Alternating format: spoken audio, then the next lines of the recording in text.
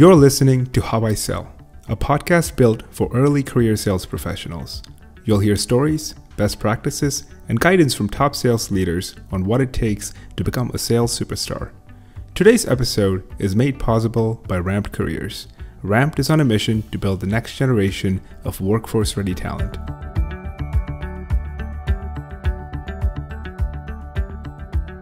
Joining us today is James Stone, Director of Sales at HubSpot. James is a HubSpot veteran, having spent close to a decade there and rising up the ranks from a BDR uh, to a sales leader today. Thank you so much, James, for joining us. Yeah, you got it. Happy to be here. Hey, James. For those that don't know who you are, who is James Stone? So uh, I'm a Boston bred uh, sales executive at HubSpot. Um, you know, at the moment, uh, you know, as I've been now pretty much in uh, the COVID era for eight months. I, I live outside of Boston with uh, with a new puppy, um, and uh, and really just you know I'm looking to help grow HubSpot sales team into the uh, sort of next phase of its growth. Nice, nice, nice. So taking you way back to the early part of your career, you know, coming out of college, how did you end up picking a career in sales?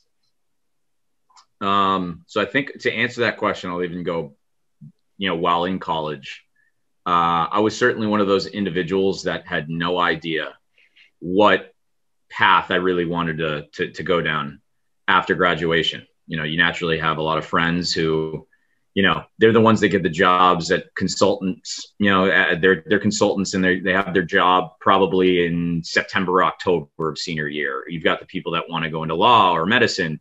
I didn't fit any of those molds. Um, I looked at a variety of different roles and ultimately found myself uh, as an account manager at an advertising agency. Uh, I was local to Boston. It was attractive to me because it allowed me to do a variety of different things within business. Um, you know, I was able to work with clients. Uh, I was able to do things around operations, finance, some creative, you know, marketing components. And I thought it would be a really good first role to hopefully lead me, you know, or point me more or less towards the direction that I wanted to go. But after about five months, um, I wasn't happy. I, I, really didn't like it. Um, I thought that the compensation was really, really low. That's always first. Um, but there were little things of like, you know, the people around me weren't like me. Like I didn't feel as if that I was comfortable. And I shouldn't say like me, I'd say like shared the same interests, the same drives, the same motivations. Like I wanted more. Um, and I found myself after about five months sort of looking into what was it that I really enjoyed about the job. Hands down, my favorite part, picking up the phone and speaking with the clients schmoozing, understanding what is that needed to get done, being like reliable, um, and developing that relationship. And it just so happened I had a friend of mine interning at HubSpot, uh, and I had a professor at Tufts who was very fond of HubSpot. And they both pointed me in the direction of uh, their BDR program. So there was an entry level sales program at HubSpot. I was the second set of BDRs that was hired at the company. Um, yeah, so my, my training class when I started was literally five people. Uh, I think I just got wind our training class of salespeople alone this month is over a 100. So, wow. um, yeah, like it, it's certainly uh, uh, some scale. Um, but I sort of knew right away after starting that job, I was like, this is definitely more aligned of what it is that I want. I saw the career path of what sales reps, you know, were, were doing, how long they were in the office, what they were trying to accomplish. And I was like, this is exactly what I want. So sort of fell upon it. Impressive, impressive. And, and at HubSpot at the time when you joined, how many total people were there? There was probably anywhere from about 150 to 170 people. Um, wow. Just crazy. one office in Cambridge. Yeah. Crazy, crazy. So you saw quite a journey from start to well to where you are now. Mm-hmm. Yeah, I was uh, I was one of the people that um, you know still interviewed by Brian Halligan, our CEO. Like he even hired, you know, he he he interviewed a BDR. You know, um, you could say I was pretty nervous, uh, but he left the room. The recruiter came in five minutes later and was like, "You've got the job." So I obviously did something well. That's incredible. You know what's uh, what's particularly interesting is that you kind of went from a, a, BDR role to an inbound marketing specialist, which is you know honestly a, a, HubSpot specialty. I think a lot of folks know kind of what a BDR or an SDR role entails, but how is that different? What does it mean to be a inbound marketing specialist, and how is that different from the conventional SDR BDR role?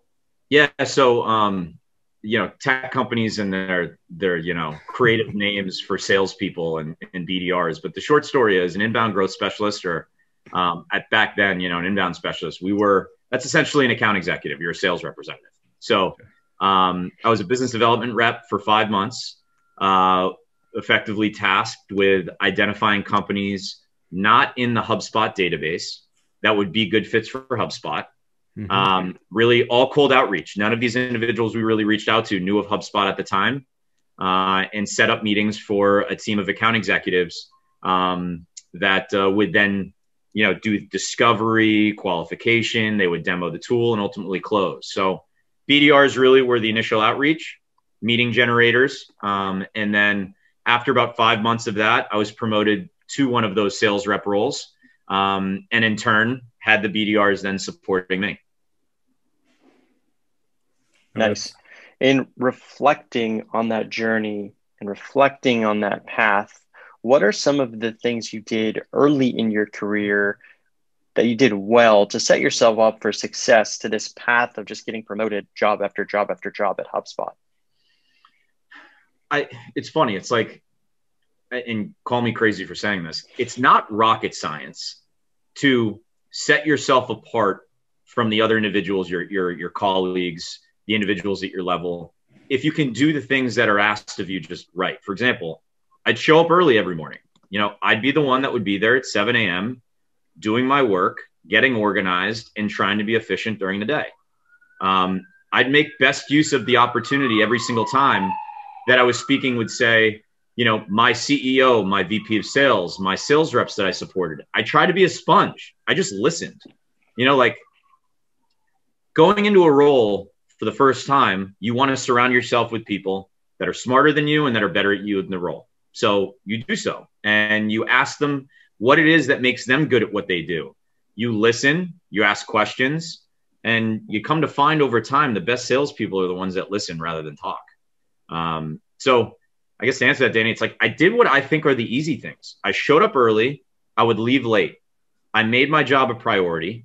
I did my best to seek out advice and feedback and you ultimately try and be a sponge. Um, and and I think in doing that, I learned over time that um, in order to be a good salesperson, it's it's listening, but also it's taking a genuine interest in the lives and the businesses of the people that you speak to. Um, you know, like don't be selfish. You know, recognize at the end of the day you're trying to help someone, and either they're a good fit for what you offer or they aren't.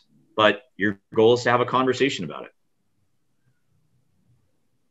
It's really well stated, really well stated. And I think a lot of folks get into sales thinking, okay, this is a career that's going to make me a lot of money and get lost along the way in that early stage because, well, whether they have success or whether they don't, it's not necessarily about you. Right when you get into it, you realize quickly, or the good sellers, the good salespeople realize quickly as you stated, it's about the customer. It's always about the customer. It's about the value you can provide. It's about understanding and being curious about their situation and figuring out is it a good fit first, and then the money comes after. Um, so that's that's really well stated, James. And then uh, another question off of that is, what missteps did you have along the way, if any, if any? I don't want to be presumptuous, if any, and and what did you learn to set yourself up for success? Um I think a big part of, of being a successful salesperson is having a repeatable process and building routine. Um, it allows you to be efficient. That was something I think I did really, really well. However, to answer your question as to missteps, you can get also extremely comfortable as a salesperson. If you hit quota a few months in a row, you're like, I'm doing great. This is my routine. You fail to iterate and you fail to get better and recognizing where you made mistakes. So I think that there's a development with every salesperson I've hired where, you know, you work on a lot of things, you get them to a certain point, and then you think that they're autonomous and they can do everything themselves, but they fail to seek out improvement. And so I usually find it's actually around, let's call it the 12 to 18 month mark of a new salesperson. You sort of get them ramped up and they're good, but then you sometimes see a little bit of a come down. Um, you fail to start, you know, to keep doing the call reviews. You, your your one-on-ones become, you know, from an hour down to a half hour when you're reviewing things with your manager. Little little missteps that I was certainly guilty of too when I was a rep. Um, thinking, oh, I've got this. You know, there's nothing I can maybe necessarily really do better, but there really always is. And so you just have to really be observing what's going on around you, the sound bites people do, the approaches that they take. Um, the world's not, you know, the world doesn't stop spinning. You know, you, you've got to always continue to iterate and get better. Yep. Right. You've you've mentioned a couple of things uh, when, it comes to you know succeeding in sales and doing well, uh, and that centers around consistency, centers around building things that are repeatable. What is one sales strategy that has consistently worked for you over the years, um, and just simply hasn't changed? And I don't want to call it the the universal truth of sales, but is there something that that has kind of stuck? Uh, yeah, I mean, I could go down a rabbit hole with uh, a lot of data. You know, I, I, tend to be the type of individual that's pretty analytical. You know, like if I'm a salesperson and I've got a certain amount of hours in a given day and certain amount of hours over a given week, and you've got a quota that you need to hit, I always try and take a step back and think about what are all the steps in order to get there. You know, how many calls typically need to be made, deals that you need to go ahead and technically create, or meetings that you need to book how many demos you need, how many discovery calls. It really, at the end of the day, is an equation. Um, I think my sort of process and routine, those numbers that I always had in my mind, always were something that I had written down. You know, that was the bare minimum that I always needed to go ahead and do. Um, over time, I've found though that it's it's not just about activity or what we usually phrase it up as the inputs.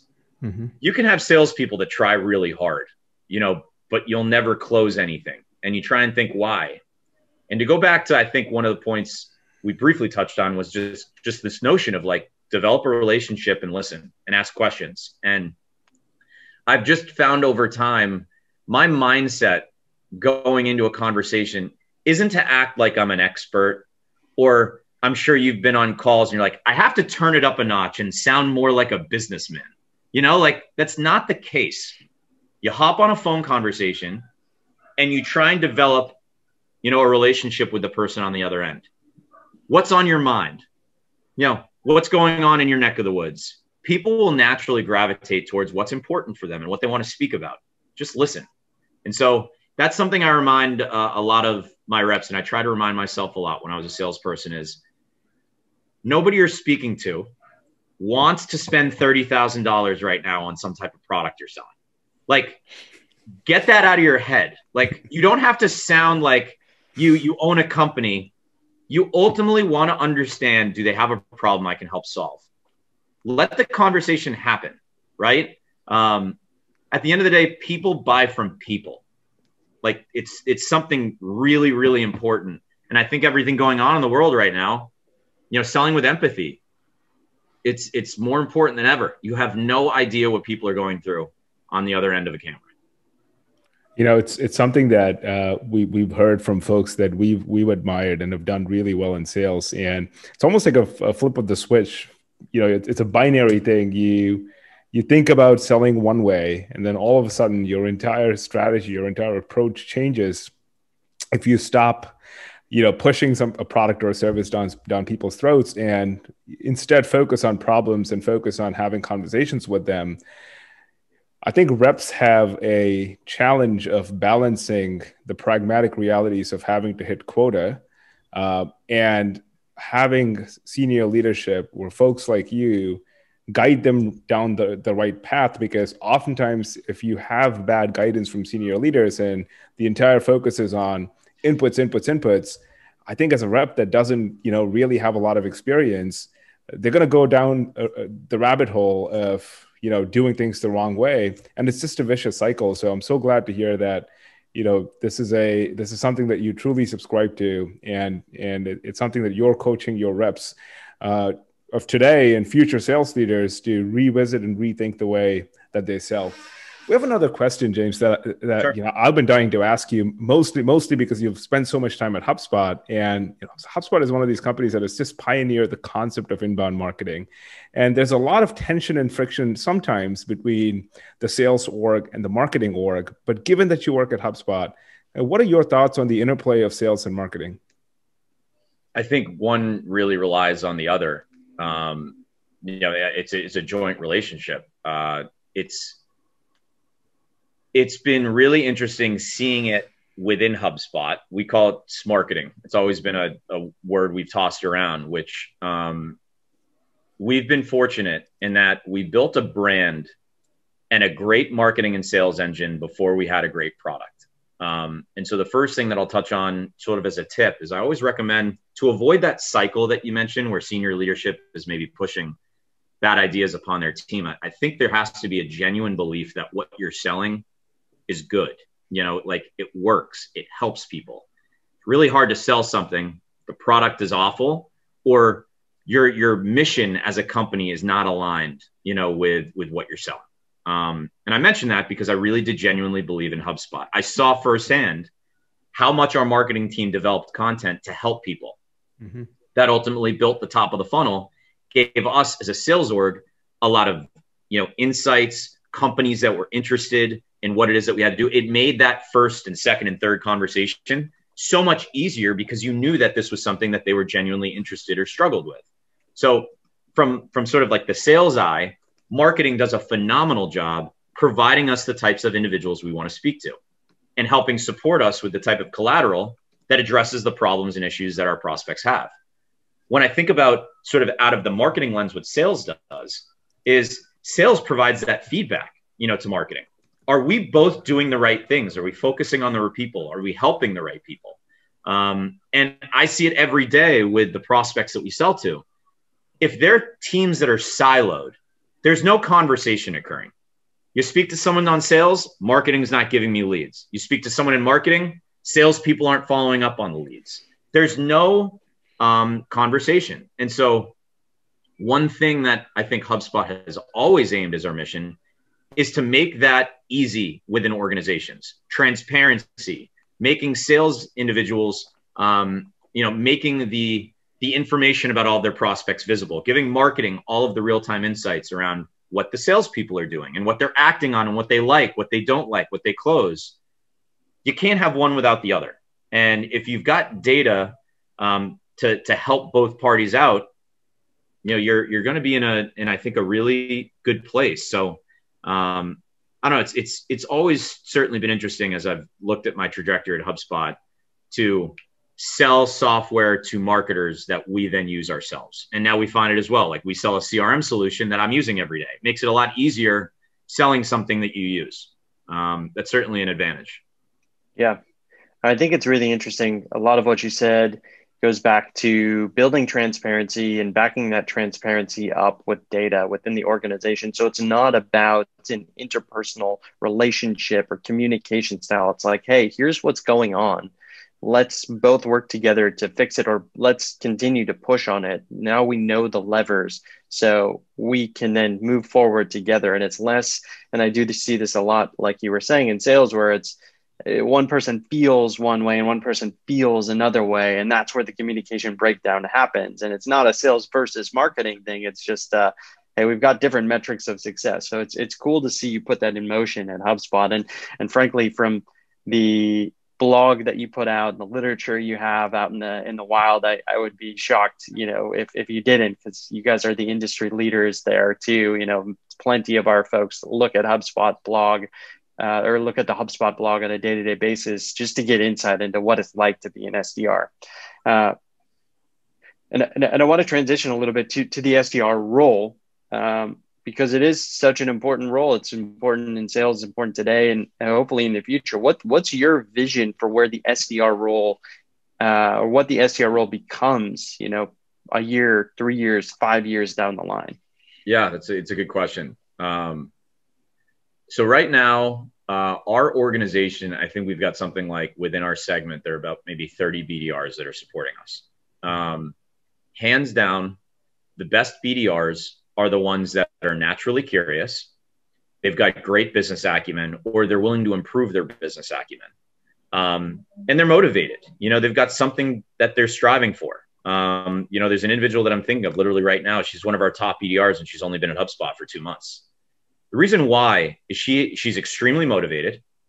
Um, not just like compensation wise, she's motivated to like learn, learn more. Um, and I think that SDR role, when you really pin it, you, you peel back the onion, you need to be able to quickly pivot and speak to anyone about their business.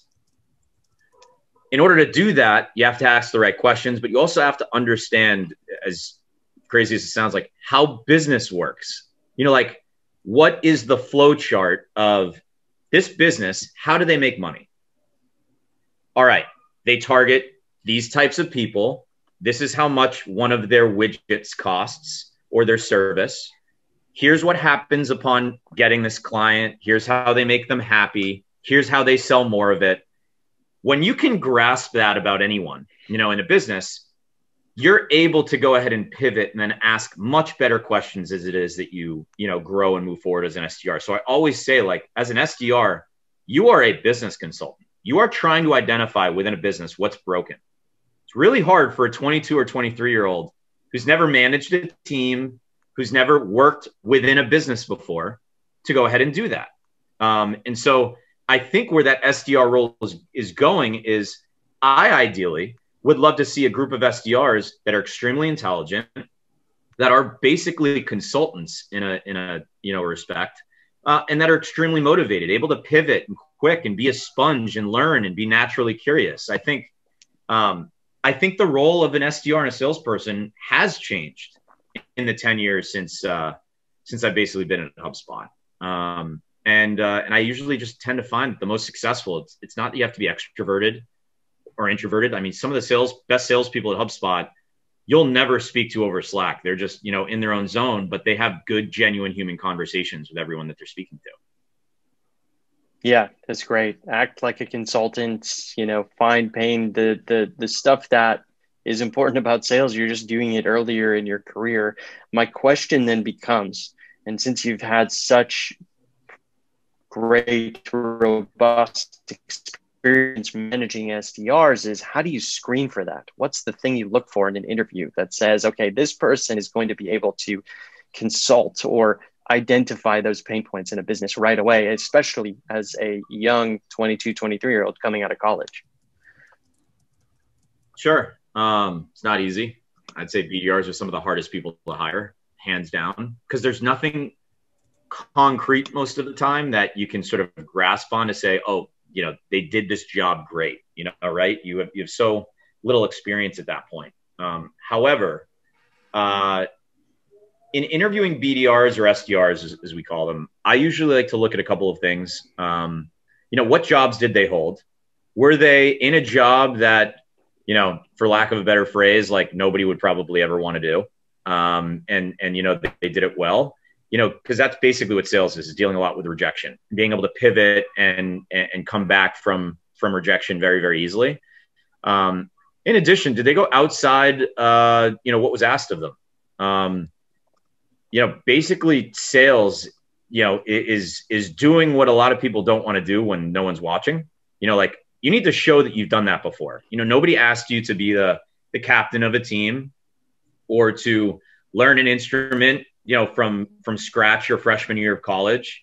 Um, I want to know about genuine experiences where you taught yourself something, because that demonstrates commitment, curiosity, um, and you know, dedicating towards uh, dedicating yourself towards something that nobody asked you to go ahead and do. Those are, I think, all properties that are really, really important. Um, the uh, the last item though is what are the questions you're going to ask me in an interview? I've always been an advocate that when you're interviewing, you're certainly going ahead and going and going to answer questions about your past and your history and what you do. The best BDRs ask me the best questions. You know, like I, have had BDRs ask me, like, you know, what what sets the uh, the great BDRs apart from the good ones? You know, tell me specifically what they do. Where do you feel like HubSpot's going and how the SDR role is going to go ahead and be changing over the year. Um, you know, you've seen SDRs get promoted. What is it that they physically do that's different to get them promoted quicker than others? I want to see that curiosity. I want to see that they're actually thinking about where do they fit amidst the rest of the business. So, so I guess a couple things to answer your question. Uh, you know, when you when you simplify it down, it's you know looking at past history and have they done something outside of what's asked of them? Have they done it with over 100%? Are they able to teach themselves something? Because you're you know your first job, you're you get hit really hard with the notion that you don't have a parent that's going to go ahead and baby you through it. You know, like you have to be able to learn yourself and and dedicate time towards it without anybody telling you to. Um, and then the questions you ask: Is this person genuinely curious? You know, curious? Do they have genuine curiosity? Um, we also do a role play. You know, is this individual someone who can, you know, speak over the phone? You, you know, they're not they're not a whisperer. You know, there are little things like that that unfortunately, you know, you only find when it is that they're, you know, in the actual seat. Um, that we also try and screen for a little bit doing a role play.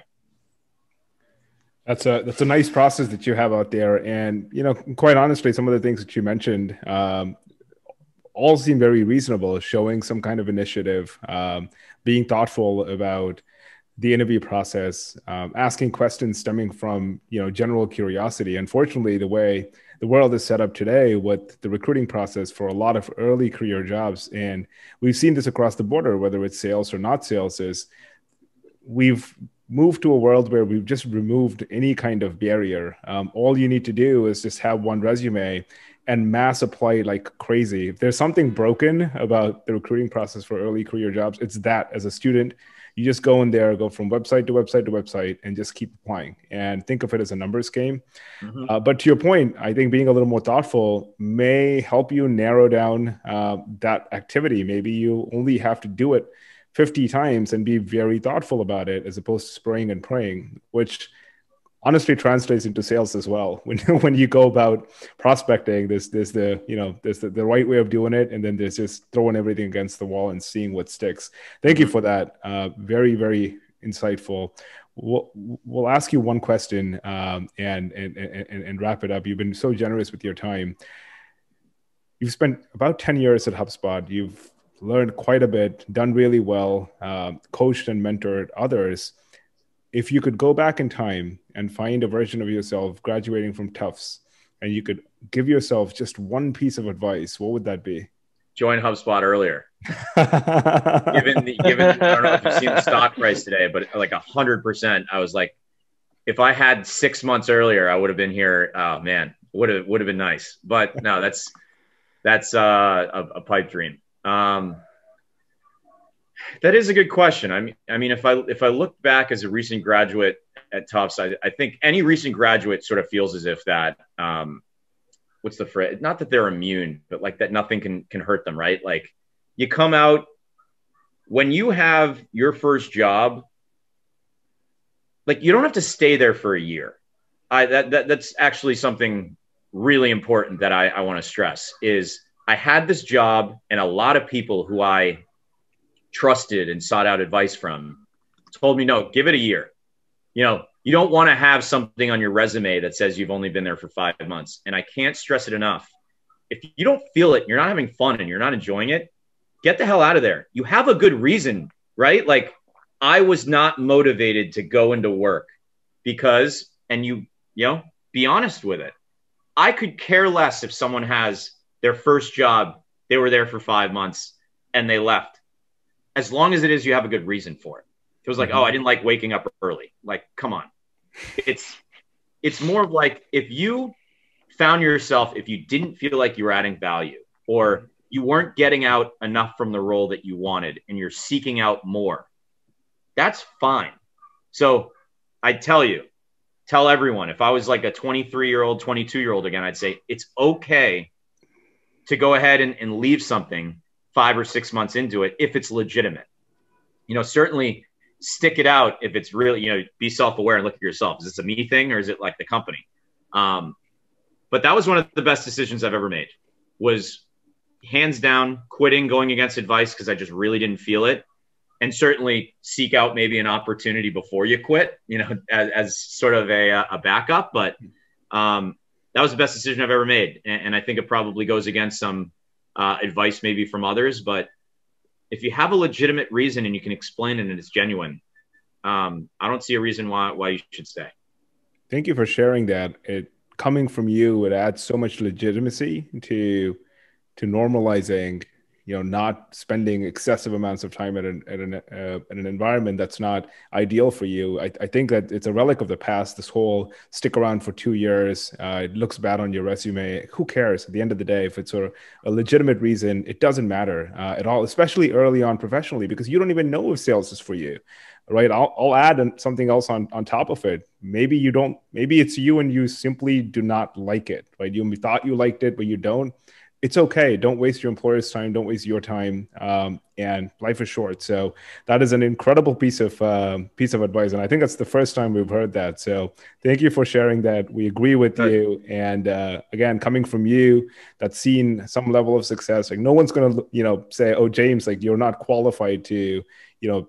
say that because you've stuck around man i don't think there's a lot of people that have stayed 10 years at a company you have yeah right? they're, so, they're you know, the amount of friends that I have that have been somewhere for for 10 years, I can only count on one hand.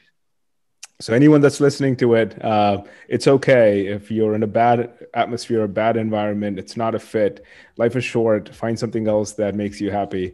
Uh, James, thank you so much for you know spending a, Friday morning with us. Uh, really appreciate your time. I'm positive that anyone that listens to this podcast will find tremendous value from your story and your experience. Uh, again, from Danny and uh, Danny and me, thank you so much. Yeah, of course. It was great speaking with you both. Have a, uh, a wonderful weekend. You as well. Thanks, James. You too.